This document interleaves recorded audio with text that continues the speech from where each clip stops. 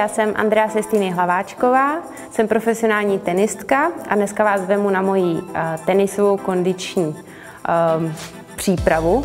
A samozřejmě vám nemůžu ukázat všechno, co kdy dělám, a tak vám ukážu takových sedm okruhů, kterým se věnuju, abych předešla svým zraněním, abych byla dobře připravená na tenisové zápasy, abych byla rychlá, obratná, silná, prostě všechno. Můj den nezačne jinak než tady s kamarádem rollerem, to vám taky ukážu, jak roluju.